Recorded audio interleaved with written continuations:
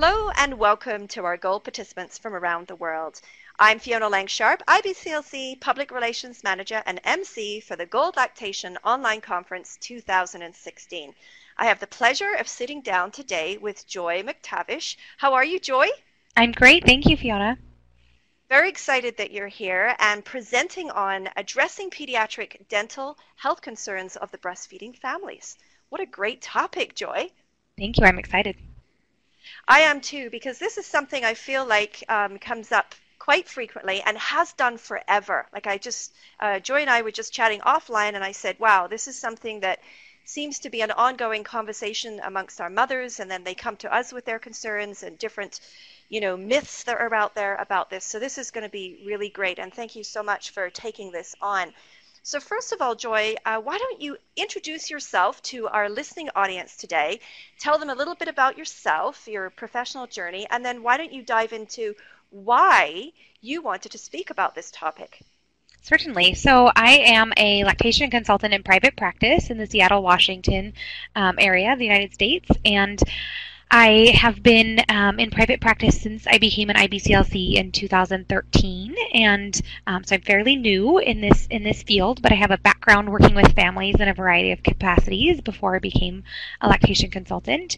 And the reason why I wanted to talk about pediatric dental health concerns um, with breastfeeding and breastfeeding families is because this is a topic that comes up in um, classes and in consultations. It comes up in various parenting communities, um, including some of the, the groups that I'm in. And it's somewhere it's an area that I feel there is some some conflicting information.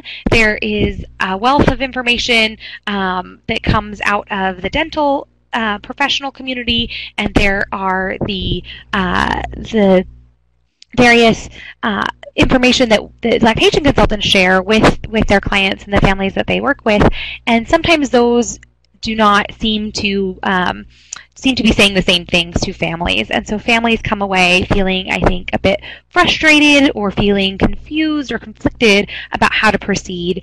And I think that we as lactation consultants can really help support clients making informed decisions and advocating for themselves and for their children around dental health concerns. But I think that it would be helpful to have a little bit more understanding of kind of what are the dental professionals saying, what are we saying, where might there be disconnect and where can we help provide some of that guidance so that so that hopefully families can feel really informed and confident in whatever decisions they're making for themselves. Yeah, and I like I said to you, I think just such an important topic and we need clarity. We need this. You know, this is important. We need to be up to date so that we have answers um, so that we can address them clearly, you know, with our clients. And I think so. I'm just I'm just excited. We're going to have a great discussion. I know there's going to be a lot of chat about this as well. And of course, we can all use the forums and the discussion groups as well as you know uh, listening to your presentation, Joy. So I just can't wait to hear more of what you have to say. So one of the things uh, we're doing here, of course, is celebrating our 10th anniversary. Did you know that, Joy? I did. That's so exciting. Yeah, it is. I'm I'm really excited. Uh, lots of things that are going on. We've got uh, keynote presenters at both ends of our conference, so we have an opening and a closing keynote, uh, open access for everybody, which is fantastic. Uh, we have great content this year, uh, bigger, better, and lots of giveaways and fun things like that.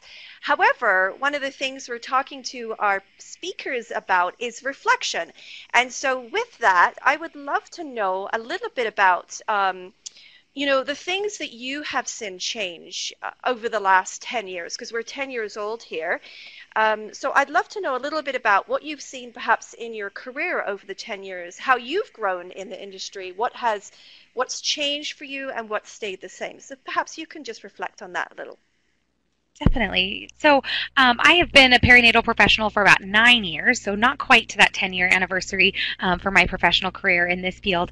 Um, but I think that the biggest change that I've seen during that time has really been around um, social media, I think, and uh, online connections that families do and ways that families get their information and their support um, through uh, online sources, whether that's Facebook groups or whether it's through um, you know you going to, directly to websites of you know of the various types of information they're seeking, whether that's dental information or lactation information. I think that the um, the clients that I'm working with tend to be very um, savvy when it comes to technology and tend to use a lot of technology um, as they get information for themselves and make decisions. And I've just seen that increase and increase over over the years. Um, I think that one thing that has stayed the same over the years has been that desire for personal connection. Though I think that while the internet and while community um, groups and forums uh, serves a great purpose in connecting people that may otherwise feel um, disconnected or isolated, I think that people really want that personal connection. And so I think having, you know, a you know a specific person, a specific professional, um, a lactation consultant that somebody can reach out to about their lactation questions, or um, somebody that they see in a professional um, position that can answer their questions in a way that, that resonates with them as a person because you have that relationship built over time.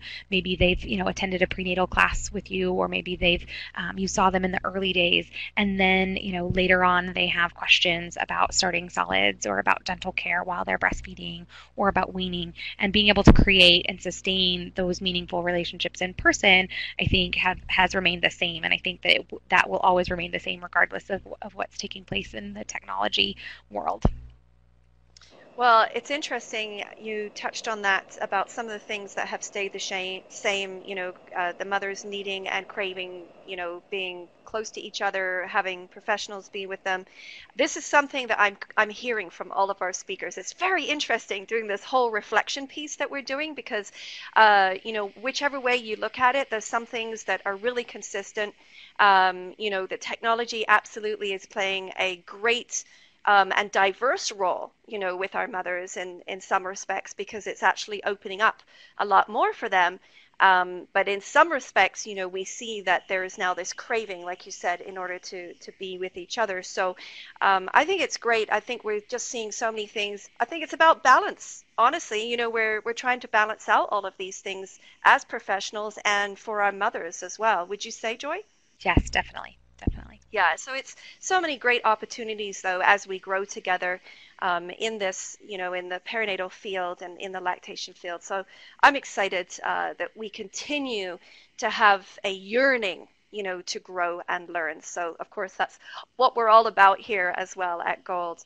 So lastly, Joy, as I ask all of our uh, speakers as just before they get to present at the live presentation is just to share a little bit about what you hope our delegates will be able to take away and what you'll be speaking to them. But don't give too much away, just give them enough to get them coming back, okay?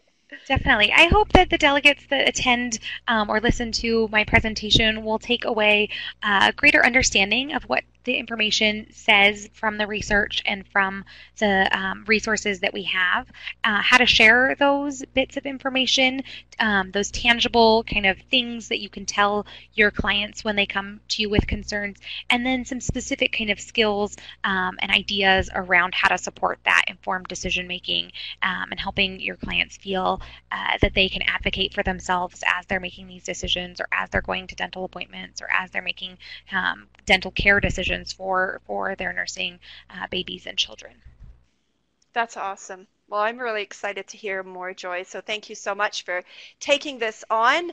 Again, Joy MacTavish will be speaking to addressing pediatric dental health concerns of breastfeeding families, how lactation consultants can support clients informed decision making and advocacy.